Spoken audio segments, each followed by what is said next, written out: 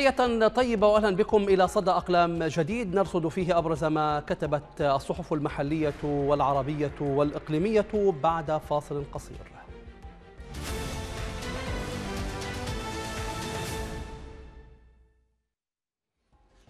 أهلا بكم والبداية من صحيفة صوت كردستان ونقرأ فيها مقالا بعنوان أشواك في الطريق للكاتب منصور الصناطي يقول فيه كان العراق خاليا من المخدرات تقريبا عندما كانت عقوبة المتاجرة بالمخدرات هي الإعدام. ولهذا قلما كنا نسمع بمشكلة المخدرات. ولكن للأسف الشديد الآن الوضع اختلف بشكل مخيف حيث قال مصدر من وزارة الداخلية أنه في هذا العام تم إلقاء القبض على 230 شبكة تجارة مخدرات منها 27 شبكة دولية لأكثر من 150 تاجرا دوليا. ف أغرق العراق بالمخدرات وأكثر الأنواع هي الميثا مفتامين والكريستال الآتي من إيران وأفغانستان والكبتاغون المصنع في سوريا ليغرق دول الخليج. وحتى أصبح إلقاء القبض على شبكات المخدرات بشكل شبه يومي. تقول رئيسة مؤسسة عراق بلا مخدرات السيدة إيناس كريم إن إجراءات الداخلية غير كافية للحد من هذه الظاهرة الكارثية المخيفة. وتحتاج إلى ضبط الحدود مع الدول الجوار ووجود أجهزة متطورة للكشف عن المخدرات بأنواعها. والعلاج لا يكمن بإلقاء القبض على التجار بل بعدد المتعاطين والمدمنين. ففي النصف الأول من هذا العام استقبل المركز أكثر من 700 حالة بينهم 45 فتاة وهذا رقم كبير فيما تحتل البصرة وميسان مركز الصدارة. إن كافة الإجراءات المتخذة تعتبر خجولة وغير كافية. وكذلك ضعف التوعية الجماهيرية من قبل منظمات المجتمع المدني والدولة بمخاطر المتاجرة والتعاطي والإدمان والترويج لها. وفي العام الماضي اعتقل 19 ألف متهم وقتل 17 تاجرا وتم ضبط ثمانية أطنان من المخدرات وثمانية عشر طنا من المؤثرات العقلية واعتقل أكثر من 144 تاجرا دوليا. وزبدة الكلام فإن هذه صورة محزنة لما وصل إليه الوضع الذي ينذر بكارثة اجتماعية. تستوجب سن قوانين رادعة وإنزال أقصى العقوبات بالمتاجرين. وأن تبذل جهود مضنية وحثيثة للتوعية وضبط الحدود والتحذير من مخاطر التعاطي لهذه السموم التي تقتل الشباب المنتج في الصميم. وإلى صحيفة الكاردينيا والتي نشرت مقالا بعنوان جسر بزيبز وصمة عار في وجه الحكومة الطائفية للكاتب أحمد العبد الله يقول فيه سيبقى جسر بزيبز حاضرا في ثنايا الذاكرة الجمعية لأهل الأنبار وأهل السنة عامة وستتوارث الأجيال القادمة ذكره من جيل إلى آخر. كشاهد على إجرام الحكومة الطائفية ضد أبناء شعبها فمآسي جسر بزيبز ستظل وصمة عار في الوجه القبيح لحكومة حيدر العبادي التي غلقت الأبواب أمام الهاربين من سكة الأنبار خلال موجة النزوح الكبيرة التي شهدتها المحافظة في منتصف 2015 بعد أن خذلهم الجيش الحكومي. وفر أمام بضع مئات من مسلحي التنظيم وتركهم لحال سبيلهم فلم يجدوا من ملجأ سوى التوجه لعاصمتهم بغداد بعد أن تقطعت بهم السبل. السلطات الحكومية في بغداد وبدلا من أن تستقبل هؤلاء النازحين وتسهل لهم المرور فإنها رفضت السماح لهم بالدخول إلا بكفيل من سكنة بغداد. وعند عبورهم للجسر بعد انتظار طويل وجهد جهيد لم توفر الجهات المعنية بملف إغاثة النازحين أي مساعدات لهم. فلا مخيمات تؤويهم ولا طعام يكفيهم ولا علاج يشفيهم ولا راحة تخفف عنهم العناء. وتحت حرارة الجو القاتلة ووسط فوضى وحرب نفسية وإهانات وشتائم واتهامات للعوائل باحتضانهم الإرهاب أكدت لجنة حقوق الإنسان النيابية حدوث العديد من حالات الوفاة عند الجسر بسبب الحر الشديد والجوع والعطش. ولكن المستهجن أن حيدر العبادي وصف كل تلك المآسي والكوارث بأنها تهويل إعلامي. فشتان بين تلك المعاملة الشائنة التي لاقاها النازحون والمهجرون من السلطة الطائفية وقواتها الأمنية. وبين آلاف النازحين من لبنان فقد استنفرت السلطة الحاكمة كل جهودها وإمكانياتها لتسهيل دخولهم للعراق وتهيئة كل أسباب الراحة لهم. ووجهت جميع المنافذ الحدودية البرية والجوية لتسهيل العبور. وإلى صحيفة كتابات حيث نشرت مقالا بعنوان حول النهب الخطير لثروة الشعب العراقي للكاتب نجم الدليمي جاء فيه. أصبح الفساد المالي والإداري في العراق المحتل اليوم سرطانا ينخر بجسم المجتمع والاقتصاد الوطني. ويمكن القول أنه خرج من إطار منظومة السيطرة القانونية لأن هذا السرطان يبدأ من قمة السلطة حتى أدناها. وبالتالي فإن النظام الحاكم في العراق أصبح عاجزا عن مكافحة هذا السرطان القاتل. سواء أكان بشكل مباشر أو غير مباشر. فالسرطان ينمو وبشكل علني ومباشر وواضح وسريع وإن, وأن السلطات التنفيذية والتشريعية والقضائية تتفرج على انتشار هذا المرض. فالسلطة التنفيذية تتحجج بغياب المال وليس لديها إمكانية إمكانية تعيين الخريجين العاطلين عن العمل مع أن واردات العراق من المشتقات النفطية سنويا نحو 16 تريليون و200 مليار دينار عراقي فأين تذهب وفي جيوب من؟ يتساءل الكاتب عن دور السلطة التنفيذية والتشريعية والقضائية من هذا الفساد المالي والإداري الكارثي وأين إيرادات الهيئة العامة للضرائب؟ أين إيرادات وزارة الاتصالات وشبكات الهاتف النقال؟ أين إيرادات هيئة الاتصالات وشبكات الإنترنت؟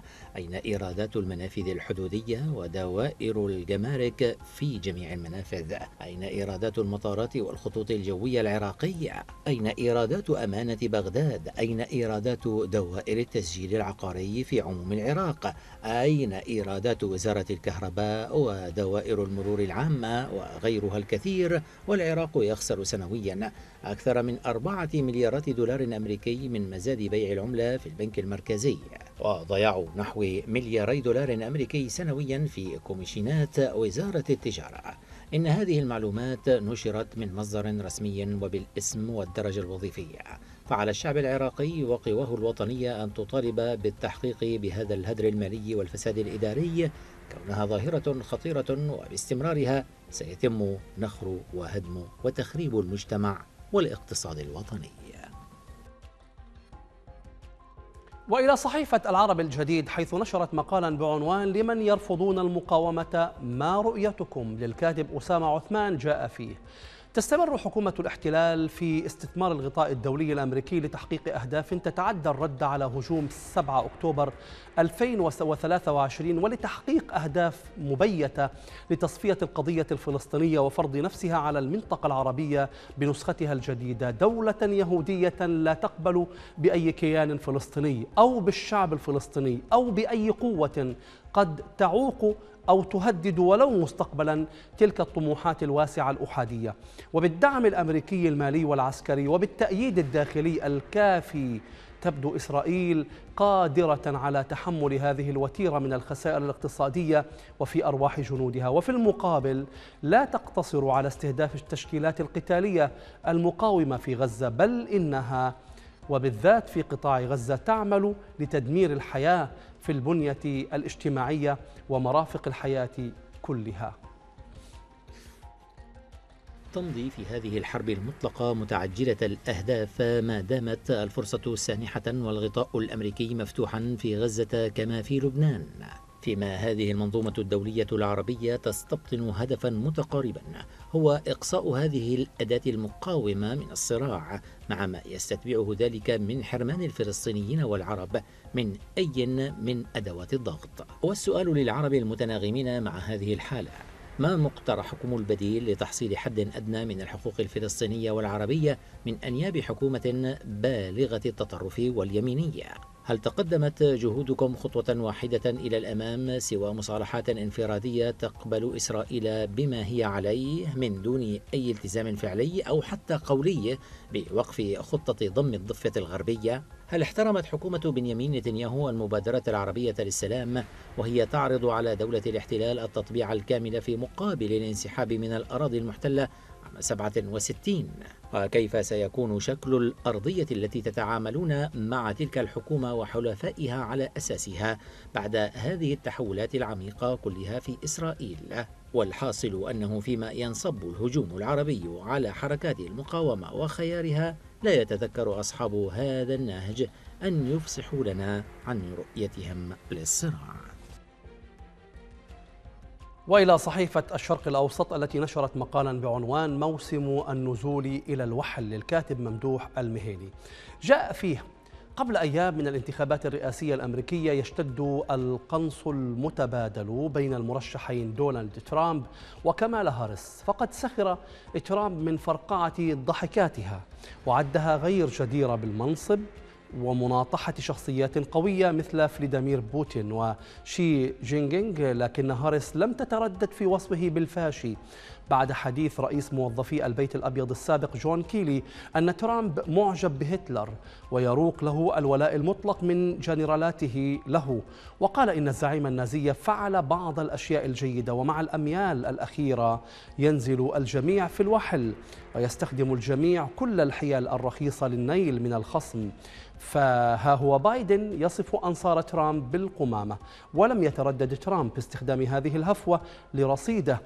عندما قاد شاحنة جمع القمامة وقال للصحفيين وهو يرتدي سترة العاملين شاحنة القمامة تكريم لبايدن وهارس سنشهد في الأيام المتبقية مزيدا من الهجوم الشخصي المقزز والادعاءات المسمومة في معركة لا تعترف بالقواعد. والمفارقة أن كل هذا الهجوم الوضيع من الطرفين يأتي بعد الأحاديث التي قالها البعض وهي أن محاولة اغتيال ترامب ستغير من المشهد وستجعله أكثر تهذيبا ولياقة ولكن الواقع أن العكس هو الذي حدث فلم تمر سوى أيام من الهدنة ولكنها خرقت سريعا وهو أمر متوقع والسبب أن طبيعة العملية السياسية تغيرت بعد دخول عناصر كثيرة ولا يمكن إعادة عقارب الساعة إلى الوراء مع أن الخلافات قديمة بين الجمهوريين والديمقراطيين المحافظين والليبراليين واليمين واليسار فإن التحولات السياسية والإعلامية والتقنية أججتها فهل كان من المنتظر أن تصعد الظاهرة الترامبية قبل أربعين عاما على الأرجح؟ لا لأن الحزب القوي الذي يحرك القواعد الشعبية ويسيطر عليها سيلجمه ويمنعه من الترشح. سابقا كان الحزب أقوى من الفرد ولكن مع ظهور ظاهرة الفرد الناجم أصبح الفرد أقوى من الحزب فالحزب أصبح بحاجة إليه وليس العكس. والآن نبقى مع فقرة الكاريكاتير.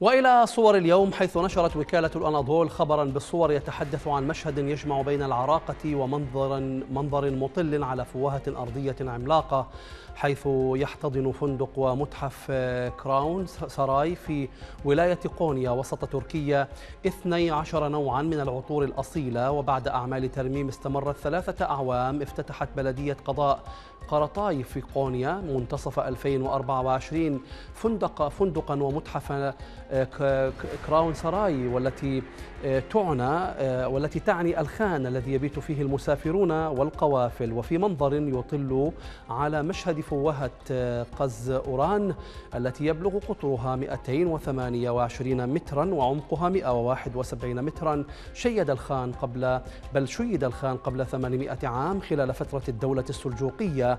ويستضيف حاليا قطعا تاريخية بجانب العطور الأصيلة.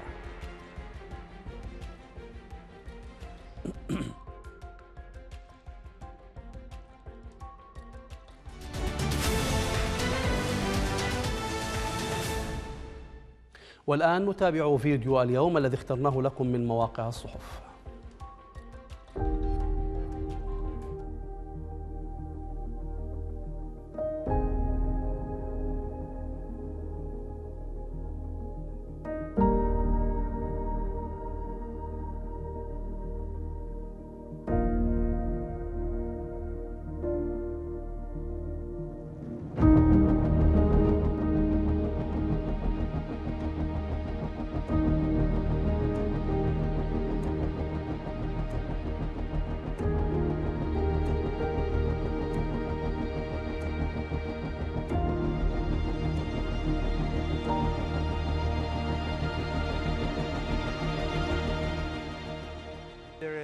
Um, a high risk of uh, unexploded ammunition or ordinances um, uh, that pose serious risks of killing and seriously injure the civilians, particularly children who are the most vulnerable, who play among the rubble. And this spreads out throughout the entire Gaza Strip.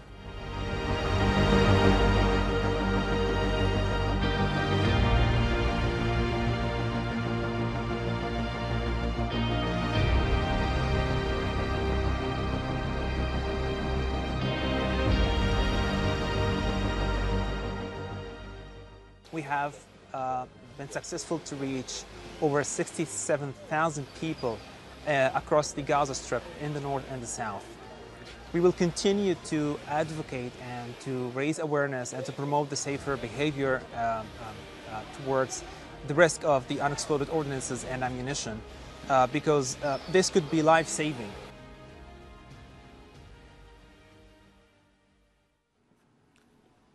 بهذا نصل إلى ختام حلقة اليوم من صدى الأقلام. شكرا لكم على طيب المتابعة. في أمان الله.